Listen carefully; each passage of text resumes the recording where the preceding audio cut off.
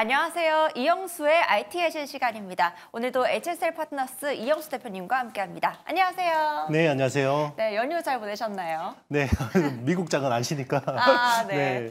지금 미국 장을 중심으로 연휴 기간 동안 약간의 변화가 감지가 됐습니다. 지금 AI 혁명이 긴 투자 사이클을 이어가고 있는데요. 미국 장 중심으로 주도주 흐름의 변화가 감지가 됐더라고요.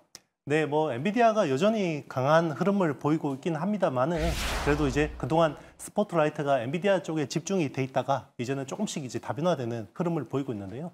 요즘에 뭐 반도체 쪽으로 워낙 공격이 많이 들어오고 있으니까 근데 이제 AI라는 사이클 자체는 계속해서 유효하다라는 생각인데요. 여기서 주목되는 회사가 있습니다. 이번 실적 발표에서 오라클이라는 회사와 그리고 이제 마블 테크놀로지 같은 회사들이 좀 주목을 받고 있는데요.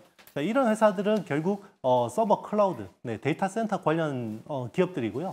이쪽으로 이제 투자 흐름들이 조금씩 이제 옮겨오고 있는데 어, 어젯밤에도 이제 블랙록이랑 이제 마이크로소프트가 어, 300억 달러를 이제 펀드를 조성해서 데이터 센터 쪽이랑 그리고 이제 서버 클라우드 그리고 에너지 이런 쪽으로 이제 투자를 하겠다라고 이야기를 했습니다.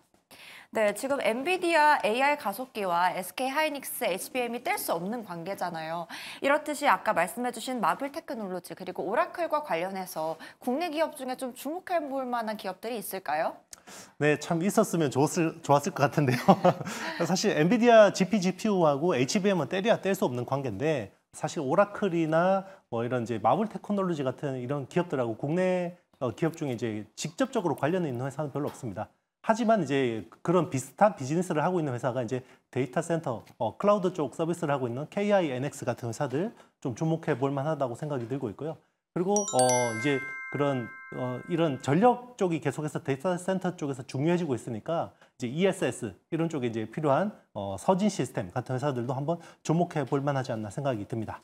네, 그렇다면 이 데이터 센터 외에 우리가 주목해 볼 만한 산업이나 기업은 있는지도 좀 궁금합니다.